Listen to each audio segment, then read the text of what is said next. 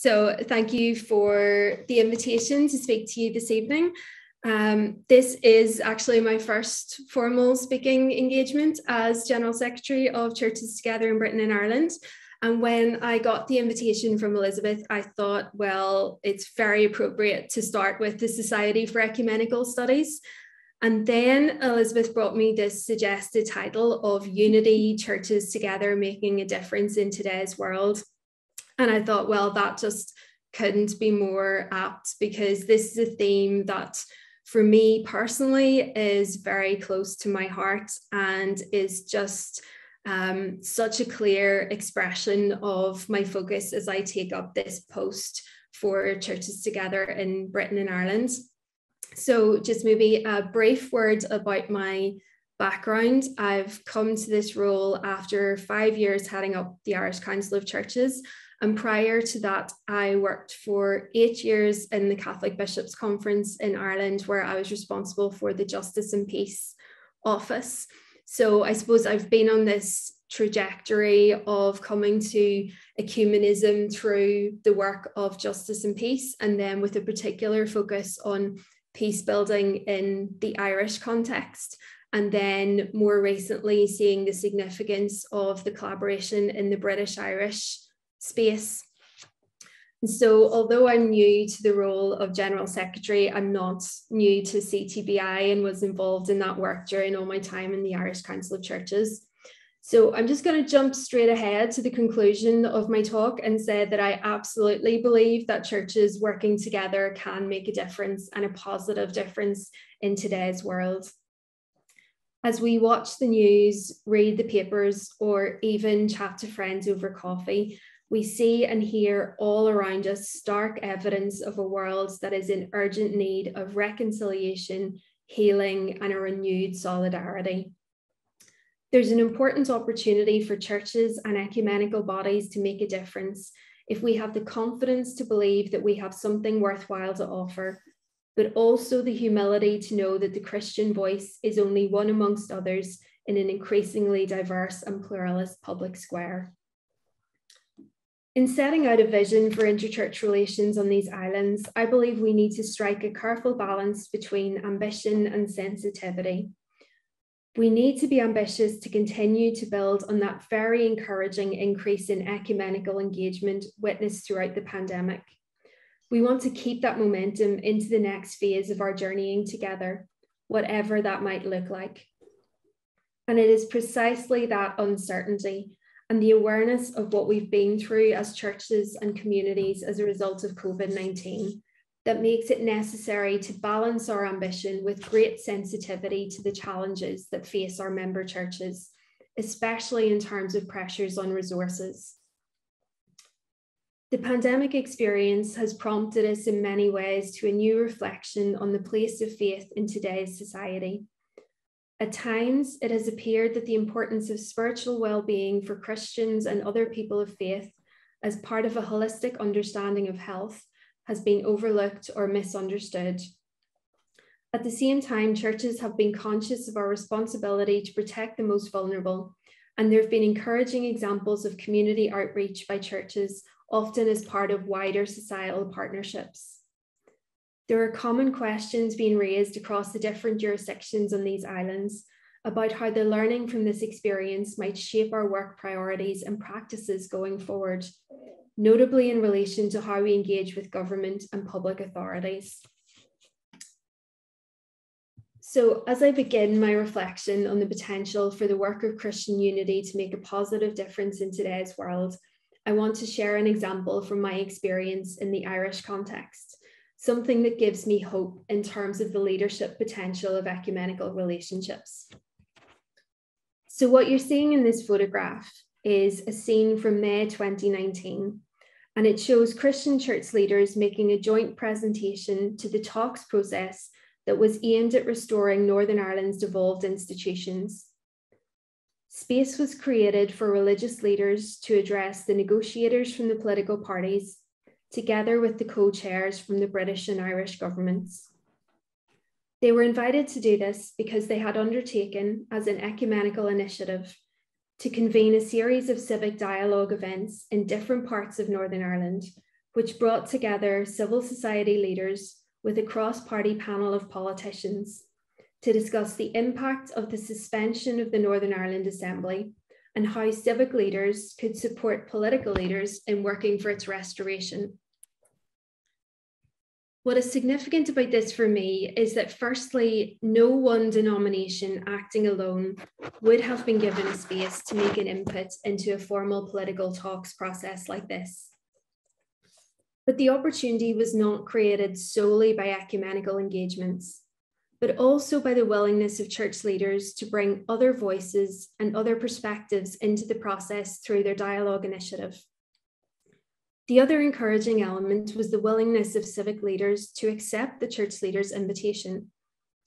So, what I take from this is that when church leaders come together in response to societal need, they are still regarded, even in the context of an increasingly secular society, as honest brokers, because there's still a level of public trust in Christian values that gives churches a convening authority to initiate wider public dialogue and this is reinforced by the unity and diversity they model when acting together.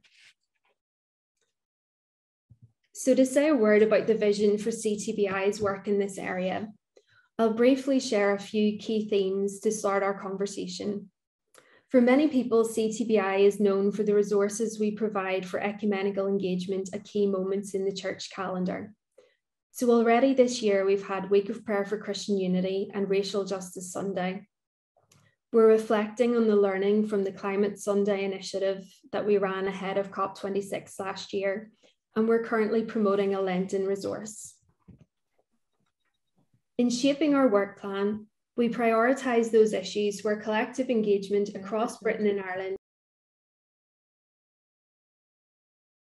partnership with the four national ecumenical instruments on these islands is a critical element of that process ensuring that our work is not only shaped and informed by the needs of our member churches, but that it's meaningful across the different jurisdictions on these islands and adds value to what the national instruments are doing already. Our approach builds on a foundation of relationships that are supported through the creation of spaces for fellowship, dialogue, and reflection. It underlines the need for all that we do to be supported through prayer and for concern to translate into collective action. There's a strong emphasis on the development of networks that draw on the experience of other faith based organisations to ensure that we make best use of all available resources so that work is sustainable and not undermined by what some consider competition within the faith sector. As a body that seeks to bring Christian churches together and channel that work of Christian unity to contribute to the shaping of a more just and compassionate society for all. CTBI has a role and responsibility in drawing on the collective experience of our members to identify the factors that can see people pushed to the margins of our society. We seek to build on the unique contribution of the collective voice of the British and Irish churches in the public square to raise awareness of social justice issues that includes engagement around some of the most challenging issues of identity and belonging, which has led us in recent years to reflect together on the challenges arising from Brexit, the debate around constitutional futures on these islands, and the need to protect the peace process on the island of Ireland. Throughout the pandemic, we've seen an increase in both the frequency and variety of opportunities for British Irish sharing and cooperation. The challenge for us now is to build on these to achieve a lasting deepening of relationships, demonstrated through meaningful action and solidarity. One of our areas of focus is to look at what combined British Irish perspectives can offer to the wider global context. And in that respect, I'd just like to share about an international project that I've been involved in. So over the past year, I've taken part in this project, which is based in the Centre for Religion, Human Values and International Relations at Dublin City University. So it draws on the publication that's shown there in the image, which is called On the Significance of Religion for Global Diplomacy. And this is examined primarily from the experience of religious leaders but in dialogue with others, including academics, other civic leaders, and representatives of multilateral institutions such as the UN. So the authors of this publication have argued that at this time of transition, what might be considered an inflection point in our history, those tasked with finding global solutions to the major challenges facing the whole of humanity could benefit from the support and input of religious leaders. At the same time, they argue that religious leaders need to be thinking strategically about how they engage on these questions, recognizing the value of what they have to offer, while also acknowledging the shortcomings in their own leadership. So then the project follows on from the book in convening a series of roundtables. And through these wide ranging discussions with a diverse group of participants, we've considered the potential contribution of religious leaders to addressing issues such as threats to democracy, to multilateral cooperation, to justice and peace. Questions of leadership and values, particularly in our global context. The work of building community, with particular uh, uh, emphasis on supporting civic engagement from the grassroots level right through to the international stage. And the whole area of spirituality as a contribution to well-being. And the findings to date have been both challenging and encouraging. It's widely recognised that religion remains a powerful force in shaping imagination, the research project is one of many across these islands that I've been contacted by in recent years that are asking questions about the role of religion and belief in public life, with some adopting a very specific focus on how those tasked with shaping public policy can engage with faith leaders. The work underlines the importance of investment in the area of interfaith dialogue, which is a priority area of work for CTBI but also to think beyond that in terms of how religious leaders engage with secular culture. Often we lament the decline of religious literacy in the public square, but this work is encouraging us to think more in terms of the development of a mutual literacy between the religious and secular spheres, without, of course, undermining or diluting what is distinctive and authentic about the Christian perspective. Developments in the global church context provide further opportunities for this kind of reflection and engagement, notably the forthcoming Assembly of the World Council of Churches and the Synod and Synodality in the Catholic Church. So I'm aware that this audience will be very familiar with these, and I'll just make a brief comment on the relevance to the theme that we're considering this evening. So with the WCC Assembly, the theme chosen for the 11th Assembly encompasses all of the issues that we've highlighted in the presentation so far. The organisers say, in this fragmented and fractured world, the assembly theme is an affirmation of faith that Christ's love transforms the world in the life giving power of the Holy Spirit. Against the powers of destruction and sin, the assembly theme affirms that the love of the compassionate, crucified, and risen Christ is at the heart of this world. It is a radical call to the churches to work together unceasingly and with people of other faiths and all those of goodwill for just peace and reconciliation. It is a call for the visible unity of the church to become a prophetic sign and a foretaste of the reconciliation of this world with God and the unity of humankind in all creation there's a real desire for this coming together, particularly since the Assembly itself has already been delayed because of COVID 19. CTBI supports our member churches in preparing their delegates for the Assembly. And what is perhaps of, of interest for this meeting of the Society for Ecumenical Studies is that one of the concerns that has been articulated globally is the decreasing investment in the whole area of ecumenical studies and formation and how this impacts an organisation like the WCC when it's trying to prepare delegates to engage in consensus based decision making on complex and sensitive issues. At a continental European level, CTBI is supporting member churches to engage with the preparatory work that's being undertaken by the Conference of European Churches. The pre assembly meeting organised by CEC in February 2022 will take a particular focus on relationships between church and state and church and society in a context of increasing secularization, drawing on the learning from the pandemic experience. Keck has been reflecting on the contribution of churches to the public discourse on values in a context of decreasing, decreasing religious literacy and asking what might be distinctive and unique about the European perspective when considered in the wider global context. Then we have the synodal process currently underway in the Catholic Church. The relevance of this, given the theme of communion, participation, mission, is really evident and I know has been picked up in reflections from this society to date. I just want to emphasize three points in relation to this. First of all, the significance of the ecumenical pillar of this process, as reflected in Bishop Farrell's statement for the Week of Prayer for Christian Unity this year, where he said that the synodal process is an opportunity for every diocese and for every local community to open their doors to a new and deeper ecumenical relation in their area.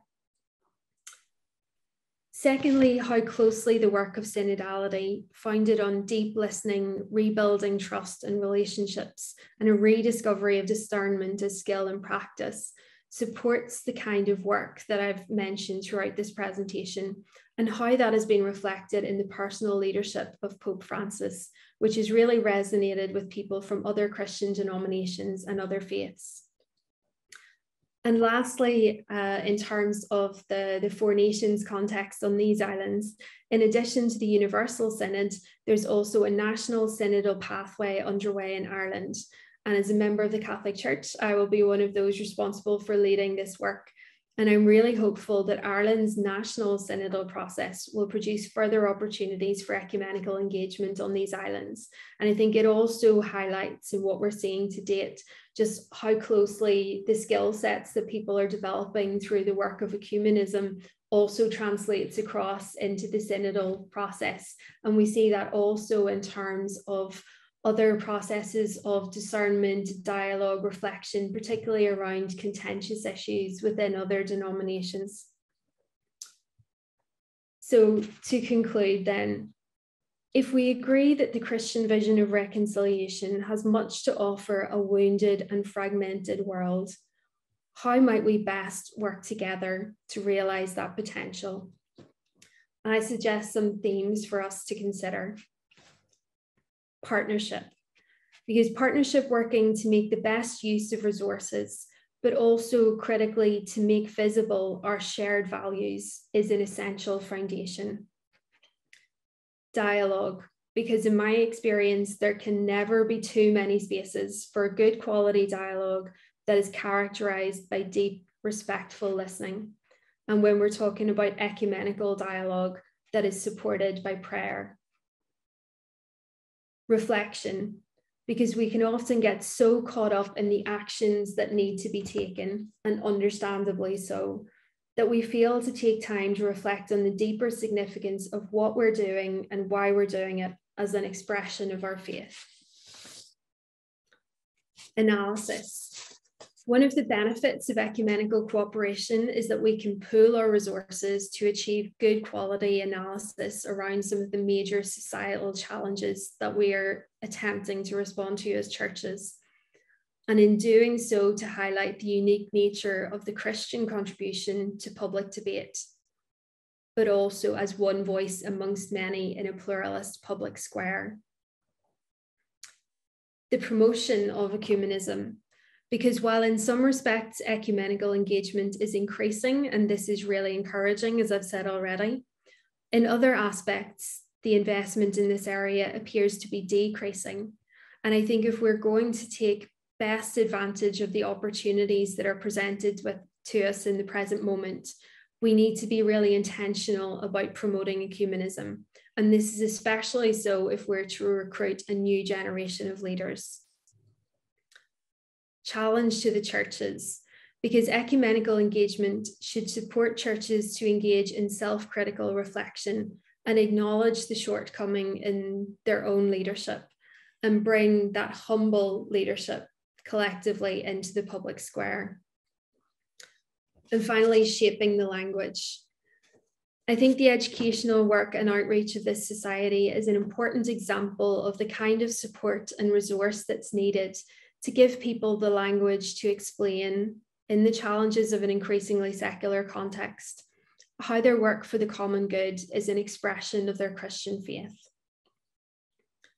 We should not underestimate the complexity or the scale of the challenges we have before us. The pandemic experience has demonstrated the resilience of our faith as a force for good in society. And now we need to draw deeply from that well to renew our efforts for the work ahead.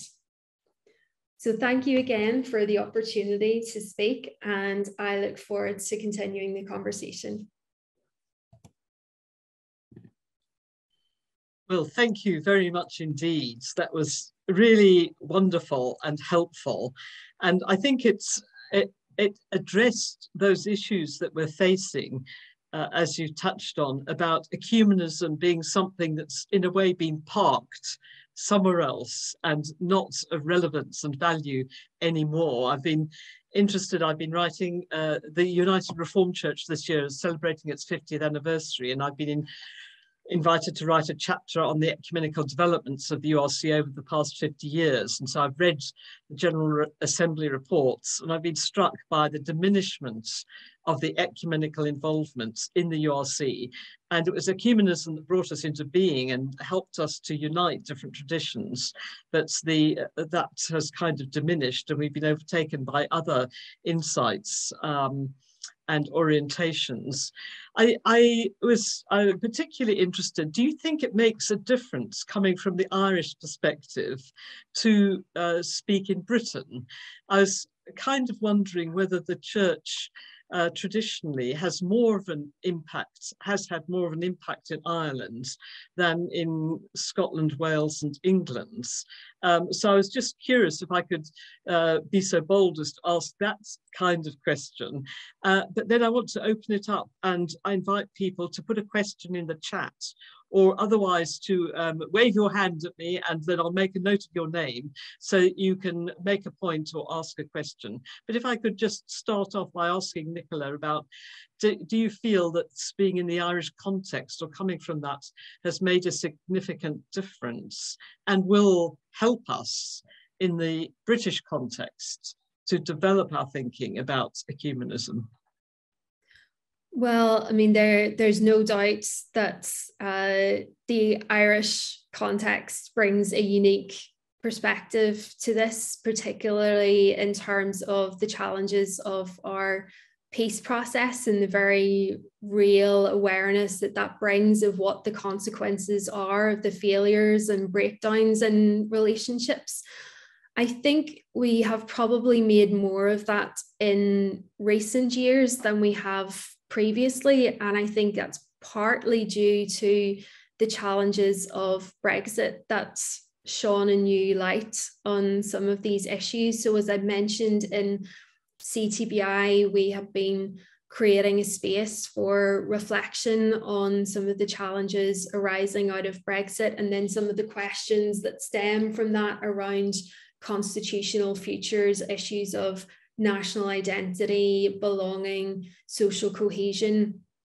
And one of the things that um, one of the, the standout moments, I suppose, in that was an intervention from the church leaders group in Ireland who requested to CTBI to host a meeting where they could speak to their counterparts across the, the UK and explain what the challenges of Brexit look like from the island of Ireland perspective. Particularly, we, we had contributions from bishops of cross border dioceses who were explaining that reality of cross border living, how it had been transformed by the peace process, and the risks of what we could slide back to uh, with some of what was potentially on the horizon coming out of Brexit. Um, and certainly some of the reflections from church leaders um, across Britain was that um, they were challenged by what they were hearing um, in an Irish context, uh, but also encouraged because they saw things like the example of the church leaders in Ireland getting to give the input into the talks. They saw collective letters being produced around um, issues to do with Brexit or when we had the resurgence of violence here last year. And they said, you know, it really showed the potential for church leaders in really grasping the nettle and open up, opening up the space for conversation. Um, and so there was some critical self reflection from religious leaders that perhaps when it came to the Brexit debate or issues around potential um, and the referendum and Scottish independence and the potential for that to come back again, that they had perhaps been overly cautious and could have been more proactive in drawing on you know the the resources that we have in our christian faith and that experience of being community and particularly um, through our interchurch work in using that to to create spaces to explore those conversations in a way that it's different to the kind of debate that people are saying in the media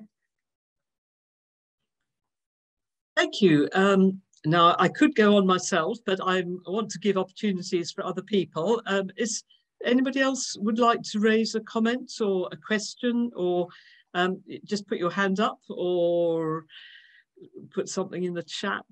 Um, think one, one of the so while I'm waiting to see if anybody would like to do that, um, one of the, the, the many questions and issues that I have is um, how how far does a, an ecclesiological dialogue about the nature of the church help us in our mutual growth and understanding? Uh, I'm just aware that we come from a variety of different backgrounds. And I, uh, I recently co-chaired the International Reformed Anglican Dialogue, and one of the issues there was to say that our previous uh, report from that dialogue in 1984 was uh, one of the issues was was it uh, too ecclesiological and did it need to be more mission based? Um, and then there was a debate about, well, what does ecclesiological mean in terms of our understanding of our different traditions?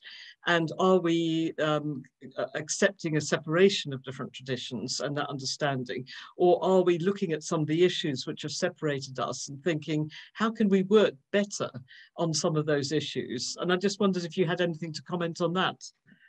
Well, it's one of the areas that's been highlighted by the WCC in preparation for their uh, assembly as an area that needs attention and where there's some potential for controversy, where the lack of understanding between member churches of the WCC around different ecclesiologies poses challenges for their working together. I think it's something while um, in some areas, you know, the uh, such as the the examples that you cited, that uh, you know, I have heard the criticism that it's too much focused on ecclesiology. I would say, in my experience, the the national ecumenical instruments is me speaking personally. I think it's one of the areas that very often slips off the agenda and that we can be very focused on our working together. What are the things that we want to do? And we end up tackling the big social issues, and that's all really important. But it comes back to, I think that uh, the point that you're making, Elizabeth, is encompassed in some of what I was saying about getting that balance between the action and the reflection. Um, I don't hear very many people bringing those questions around ecclesiology and exploring together different ecclesiologies to the table of the national ecumenical instruments although i am aware of you know there are initiatives that are happening in parallel between individual denominations or small groups of denominations. But even to bring in sometimes i've tried to outreach to bring in some of the fruits of those reflections bring those to the wider table of the national ecumenical instruments. Um, and so far, I haven't seen a huge appetite to, to develop those conversations. So this is where I think, you know, through the partnership working and people raising these questions in other spheres that we are challenging each other, it means that there's less of a risk that say in the national ecumenical instruments that we end up having a blind spot or or a gap in this area And, and I suppose, uh, yes, sorry, um, uh, Mary Tanner.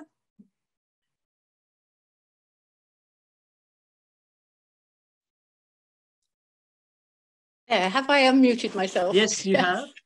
thank you. Um, thank you very, very much, um, Nicola. Christine Jack I, I, I'd just like to pick up um, the theme of the assembly and some of the things you said around the theme of the assembly. Christ's love transforms the world. Um, I think I want to say Christ's love transforms the church before I say Christ and, and the church is transformed in order to work for the transformation of the world for God's sake and for the world's sake. Um, and then you went on to say that the visible unity of the church is to be the sign for the world. Um, and as the conversation has gone on between you and Elizabeth um, around what the ecclesia or what the visible unity of the church might mean, I wondered whether the faith and order text, the church towards a common vision, ought not to be brought in at this point because that's an attempt by the most representative ecumenical group there is um, to actually begin to portray what visible unity might be. And synodality belongs very much in that context, as also does primacy. So I just wondered what you thought about working a bit more on the church towards a common vision. I agree wholeheartedly, and it has been quoted in ecumenical contributions to the process of synodality in the, the Catholic Church, certainly. And I think, again, it shows the importance of having that good foundation around training and reflection, but also the institutional memory so that we don't go back to the start and keep reinventing the wheel. So, um, yes, wholeheartedly, I think that's a, a timely reminder. And uh, as we are about to gather the British Irish delegates at the end of March, I think that's something that should be part of our, our discussions there as well, because what we've been saying to our member churches and delegates is about, you know, the importance of preparation. This is a unique opportunity in the context of a WCC assembly. We need to think about what we bring into it, and that means proper preparation to engage fully with the theme, but also with the methodologies, because there are a variety of different methodological approaches that are used in the course of the assembly. The more you understand about the history of the journey that the ecumenical instruments have been on nationally and globally, the better placed you are to engage and enter fully into the spirit of that, but also to think about what it is that we want to take away. And if we are going to make the most of whatever might come out of that assembly, then we need those really strong foundations in terms of understanding of relationships and the networks that make it possible for us to, to bring those to life in the British Irish context in whatever way is appropriate and in the way that makes the best use of the experience that we have available and everyone's resources. Thank you. And Christine Jack had her hand up. And then if anybody else would like to put their hands up or put something in chat, please do so. But Christine, over to you. Yeah, thank you. Um, I was just thinking about your the last section when you talked about working together to create a hopeful vision for the future. Um, and at the top of your, your list of, of, of issues to think about, you put partnership or shared values. Now, I just wondered if you if you could sort of itemize or put more detail into that. We talk we talk rather widely about justice and peace, and sometimes yeah. I find these words rather grand actually, um, because they, they they they encompass such a wide uh, you know variety of ideas, and most of us don't actually live in a particular area of conflict. Um, so, what what what shared values or areas of partnership can you see the churches uh, working together for the common good? So, from a CTBI perspective, the what we have identified as being the, the common thread that seems to run through much of our work plan is themes around identity and belonging. So, what are those factors that leads to the fracturing of our local communities, the weakening of the, the social fabric, and cause people to feel marginalized. So one the one of the main areas where we take a lead is on the work of racial justice. So CTBI had a long-standing uh, leadership role in this area around Racial Justice Sunday, and then obviously what came out of the the Black Lives Matter um, and other um, issues and reports that were associated with that made um, some of those issues uh, a, a new priority for our churches. So that's one specific example. Uh, we work on issues around uh, socioeconomic um, inclusion and justice, but we tend to do those in partnership with other areas. So that's one area where up to now, the um, national ecumenical bodies have been leading in partnership with those faith-based charities that are working in that particular jurisdiction because so much of that is around um, advocacy to government and the um, specific areas of legislation. But what we've realized in looking at this through an identity and belonging lens in recent years is that you know homelessness is a big issue across all jurisdictions on these islands, and it comes with issues around identity and belonging. So there may be an added benefit from doing something on that, say in a, a British Irish context and bringing that perspective.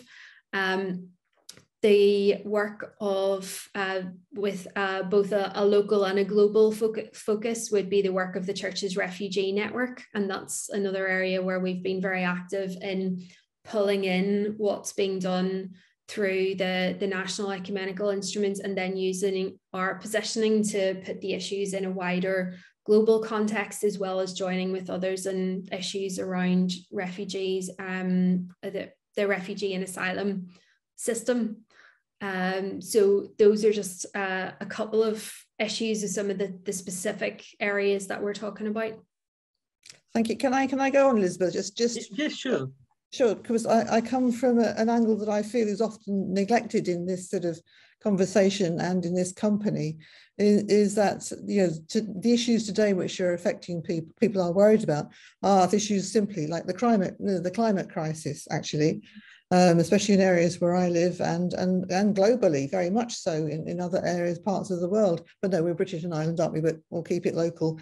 Um, and I, I, always find, what about what about um, you know, the shared covenant? Actually, I'm, I'm two things here: the shared covenant with creation that we have. Um, I always feel that that is neglected in this in this um, conversation and in this area of ecumenism. So we support the work of the Environmental Issues Network, and in the run up to COP26, we led on the Climate Sunday initiative, which was really positive in lots of ways. So it brought together lots of different faith based organizations and churches in that space and got people working together rather than working in silos on, on different aspects and with different approaches. So that was something that was really encouraging. What was also really encouraging for us on that specific issue was that we saw churches who are not part of CTBI because they are not uh, warmly disposed towards ecumenism, um, actually availing of the Climate Sunday resource because they were interested in engaging around um, ecology and safeguarding of creation and particularly um, in the run up to, to COP26. So it brought in for us a new audience who were interested in climate justice but not ecumenism. Thank you. Do you want to pursue that further, Christine? I think it's a, it is a really interesting issue. Um, Um, no, not at the moment. I'll, I'll no, hope somebody else might come in on, on maybe take that further as well. And before I launch in again, um, is there any any other question? It, in a way, I was interested. Oh, sorry, Alison, Alison Williams, please. Yes, um, Nicola said that uh, interfaith relations were also a priority for CTBI. Could you tell us a bit about that in detail? So we have uh, two bodies working on interfaith issues. So we have an interfaith theology advisory group. So they provide theological resources to support the work of interfaith dialogue, and they're looking at a range of issues. Uh, recently, they've been looking at the area of gender justice, and they brought out a publication last year, Her Faith Matters. So they're starting to open up some of these sensitive questions around gender justice in an interfaith context. So that's been a, a really interesting area of work. They're looking at uh, shared prayer in the public space. So, particularly how faith leaders can come together in civic space, uh, for example, at moments of shared trauma in a community. Um, they are also looking at uh, specifically the area of Christian Muslim relations and uh, the question of Islamophobia. And that builds on some very good work that was done in previous years with the Jewish community around anti Semitism. Uh, and then alongside that, we also bring together at different points in the year those who are tasked with leading interfaith relations work for the different denominations. So again, that's one of the the networks. So we bring them together, give them an opportunity to get to know each other, support each other, and identify issues that are of shared concern where they might like to work together or could benefit for some additional support and resource in terms of the reflection that supports that work.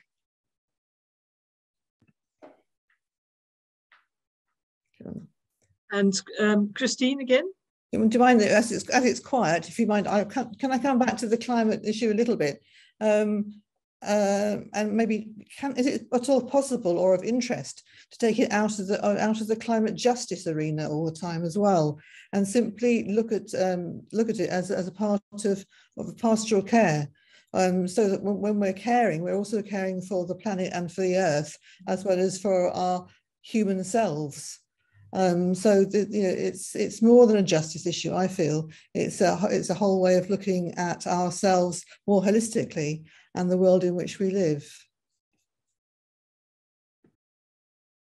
Can we sort of get can we sort of get rid of the justice the whole time and just look at simple widening our sense of care?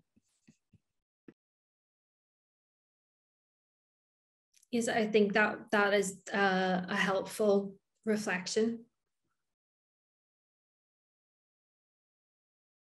And I wondered whether I could just go back to something else that came up in the, the exchange between um, Nicola and Christine, which was about those churches which aren't part of churches together in Britain and Ireland. And I, I realise I don't actually know how many churches are not part of CTBI, and um, are there uh, whether there's initiatives that go to try and be more embracing of churches that don't feel ecumenism is a priority. Um, I just wondered where that's that one might go.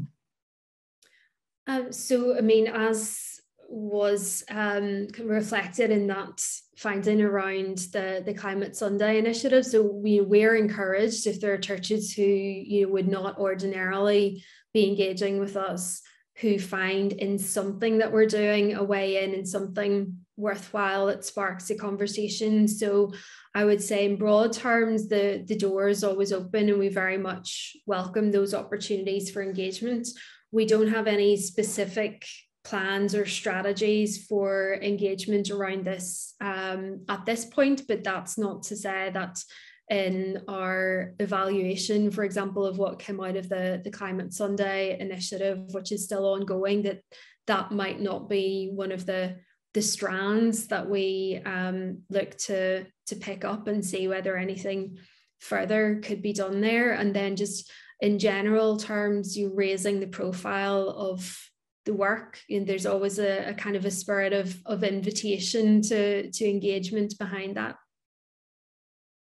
And i suppose i'm just interested in how our ecumenical bodies are um, continually growing more inclusive of different and diverse views, but that are still within the Christian context. Because it feels like it's a bit of a challenge in a way about are we, how inclusive are we in our thinking and our understanding? Or have we got to a point as uh, Christian churches where we think, well, it, it, everyone can get on with whatever they feel called to, that's, um, it, and it's so it's less important that we do that together um, and that we, we just accept that people do, Christian churches do do things separately instead of having a drive towards doing things together more effectively for our world? Well, my experience in recent years has been that the, the churches have been focused on doing more together. And I think there are um, both positive and negative motivators for that. You know, positive in the sense that, yes, people recognize that we are, you know, the, the work of unity is part of our Christian calling. And I've heard a positive desire across different national ecumenical instruments and certainly in CTBI to be more inclusive of a range of different voices, um, particularly thinking in terms of um, different national identities, racial diversity, um, being more welcoming and understanding of different cultures, but also moving from uh, welcome to belonging. So, not just saying to people, you stranger are welcome here, but actually you belong and you're part of us, and we will adapt um, to, to be able to make the most of your um, perspective and for you to really feel a, a part of this. And so, I'm hearing more of this, and I think it's been more intentional in recent years and certainly in Ireland very recently the um, national ecumenical bodies partnered with Evangelical Alliance and others to undertake some research about how well the Irish churches and ecumenical bodies were doing in terms of that moving from a culture of welcome to, to belonging. Um, and I think the, the negative aspects of that has been that, um, you know, in the context of an increasingly secular society, government wants to speak to the faith sector as a whole across different jurisdictions. And so there's been an impetus for churches to work together. Um, also, when you have increasing pressure on your resources, it makes sense to, to pool those and work together. So I think there are a number of factors there that are across many different areas, you know, really strengthening that desire to to work together um, and in many ways a, a, strong commitment to it and an openness to seeing how that can be more diverse more inclusive um, but going along with that the other issues that we've already identified in terms of um, just not quite the energy that we would like to see around actually promoting ecumenism and not the intentional focus on developing the, the study and the formation. Thank you. Melanie Burnside has raised her hand. Hello, yes, uh, that was going to be my question actually. Um, so you led into that quite nicely um, about the promotion of uh, ecumenism. I've uh, just recently been ordained. So while I was training, I went with um, a group of uh, Anglican ordinands to Bossey, um, 19 of us out of a cohort of uh, 500, I think, that year. Um, uh, but speaking for myself, um, I, I I tried to get people interested in my training place, seventy odd uh, ordinands, um, and and very little interest really. People, you know, perhaps understandably in their training focused on, um, you know, on their own uh, specific ecclesiology and kind of getting their head around that. But um, you know, what is being done? What what can we do?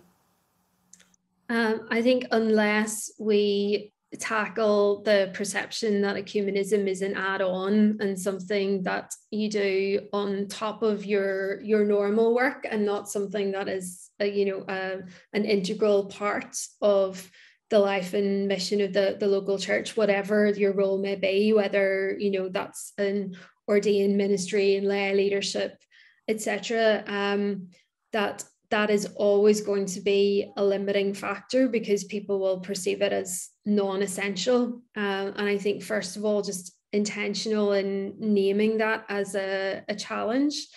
I think um, resourcing issues as well you know the, the level of investment. So i know that for some people if you're having to take on additional study in terms of ecumenical formation, then it's not just time, but it's often money as well.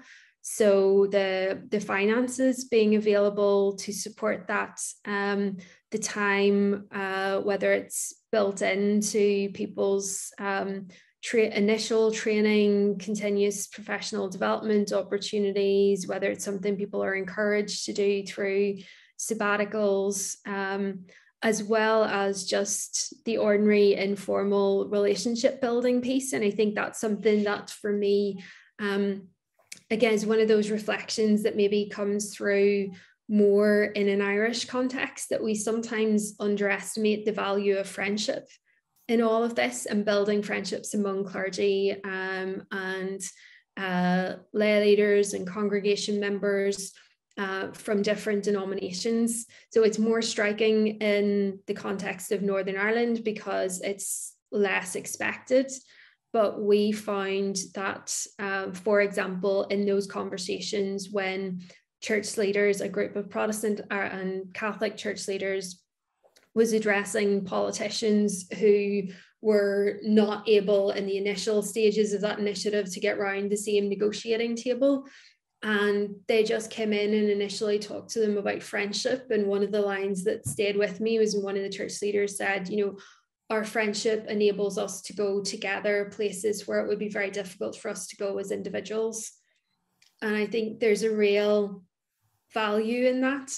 And when it comes to just um, making that work of ecumenism more visible across the the wider church i think that's something to bring out as well that it is about friendship as well as obviously about study and formation and collaboration and all of those things.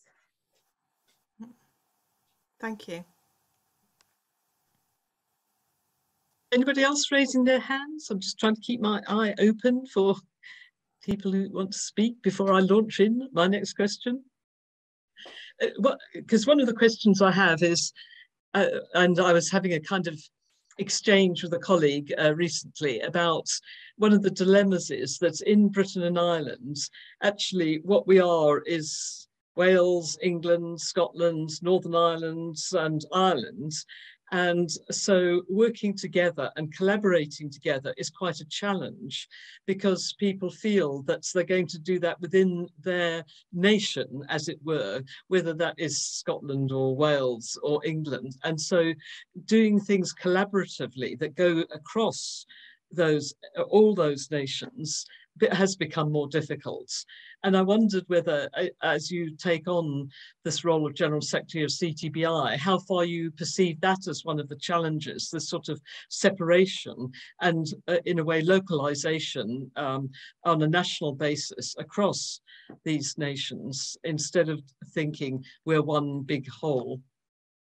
Well, partnership with the National Ecumenical Instruments is a critical element of that because we don't want to be simply duplicating their work or doing something on a British Irish basis for the sake of it. There needs to be a clear added value, and that's brought out through that dialogue across the different ecumenical instruments. Um, some the the experience of meeting more frequently throughout the pandemic has definitely supported that because you can have shorter more regular meetings. So it helps people build up more of a, a picture and more of an understanding. It has definitely sparked people's curiosities what one area being how the different uh, national ecumenical instruments relate to government in the different jurisdictions and what we can learn from that and um, where uh, it's in a multi-faith context where um, those forums for engagement include humanists um, and what are called the philosophical organizations and where they don't and how that changes the dynamic. So all of that has been interesting and has given us a foundation to build on but something else that came out really clearly was the whole issue of borders as a focus for our reflection as well. Um, so people across GB had mentioned how Brexit and Brexit coming together with the pandemic made them more aware of borders than they had been previously. Obviously, on the island of Ireland, we've been very aware of borders. Um, but, you know, the common EU membership and the common travel area and all of that really took the border out of Irish politics and Brexit put it back in.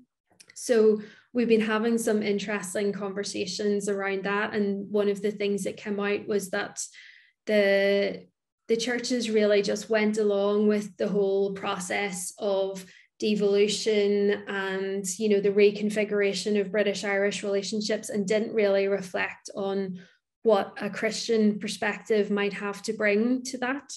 And we're saying now that where there is this renewed focus on borders and viewing that as well through the lens of challenges around refugee and asylum issues what might a Christian theological reflection on the issues of borders um, and you know the the concept of the kingdom of God, what might that have to offer, and how might that open up a different space and a potential for some reimagining, some creative thinking. So yes, certainly challenges, definitely a need for partnership, um, but where we create the right atmosphere, environment, get the right focus, and some scope for creative thinking that lifts our eyes up from the immediate um, context and again helps us make some of those deeper faith connections in a way that we possibly weren't doing when we were focused on advocacy to government around specific pieces of legislation in a particular jurisdiction. And in a way, I was also curious in, in what you were saying earlier on about um, relating to the secular context, because it does feel like sometimes in the West, secularization is kind of taking over and uh, the church is a bit in retreat. Um, and that the secular world is becoming larger and larger. So I was interested in what you were saying about uh, that photo that you showed and that sense of, uh, of a dialogue between the society and the church. And um, I just wondered if you'd like to say more, whether you feel that is going to be positive as we move forward in uh, churches together in Britain and Ireland, that we will be able to have a more positive dialogue between the secular world and the church, in which there is a sort of a mutual understanding and engagement, or whether the secularization uh, area is going to go on growing.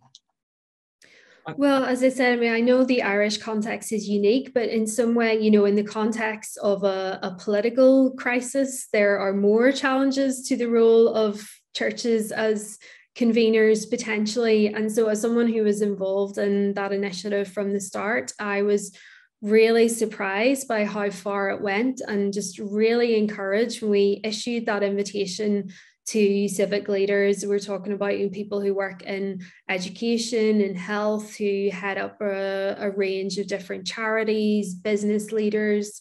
Um, nobody really, nobody said no. Nobody said I'm not accepting that invitation because it's coming from church leaders. And I think there were two factors. One, it is an important issue, it's a conversation that needs to be happening. And no one else was stepping forward to take it because it was so politically charged. Um, and when church leaders came together, and the critical thing about it was that the invitation was framed very much in a context of humility and we're concerned about these things we know you are too and if it's helpful we're we're offering a space and for me that model is something that will work in other contexts and on other issues and i do see some of it in the work of racial justice and you know much of that traces back to the church's engagement around racial justice and the the church's response to um, particularly acts of violence that were sparked by racism. And I think, again, where the churches are modeling a unity and diversity and showing society a way of dealing with um, some of these challenges, framing the debate, bringing people in. Um, I think it has huge potential to to unlock conversations, and I think that was um, some of the the learning and some of the challenge that was taken from that in the context of how we approach these debates that are coming down the line again around constitutional futures. Thank you. Well, we're coming to the end of our session, I'm sorry to say. Um, I just wanted to check, does, does anybody else, would anybody else like to make a comment before we round this off? Um, put your hand up if you've got something I think it's been it's been really fascinating, and I shall certainly follow the work of CTBI with even greater interest as it moves forward under the leadership of Nicola. And I just feel really encouraged by um, all that you've been saying, and I also feel encouraged by that sense of the dialogue with Ireland and the way that might actually open up new insights for us in Britain. Uh, I think that's uh, encouraging as well, and how that idea of friendship um, might grow and because that seems to me to speak of the God who's love and how do we live in love for one another and not just in arguments for one another and uh, disagreements and so on. So uh, thank you very much for taking the time at this early point in your appointment uh, as the General Secretary. And we do, I'm sure, on behalf of uh, us all, wish you well in all that lies in front of you. And we've had a couple of positive comments from people who've had to go and say how grateful they are and thankful they are to you for what you've said. Uh, we do hope to have the recording available, and if you've got a text, we hope to have that available because we know there's always people who can't actually make it on the evening, uh, but would like to know what is being said or to read about what is being said. So, and I'd like to thank everybody for participating today and, and coming to be with us and uh, listening together. And um, just to close uh, with a, a brief prayer, let us pray. Loving God, we give you thanks that your love embraces all people and helps us to become friends and to see new insights and wisdom offered by people from a variety of backgrounds and traditions. We give you thanks for the work of the churches together in Britain and Ireland and for Nicola in all that she will be bringing to the future of CTBI in the time that is to come. We give you thanks that for all that we've heard today and all that we've been able to share, and pray your blessing upon each one of us, that we may live more close to you, more open to you, and therefore more open to one another and living in your way for the sake of your world. And this we pray in the name of Jesus Christ our Lord. Amen.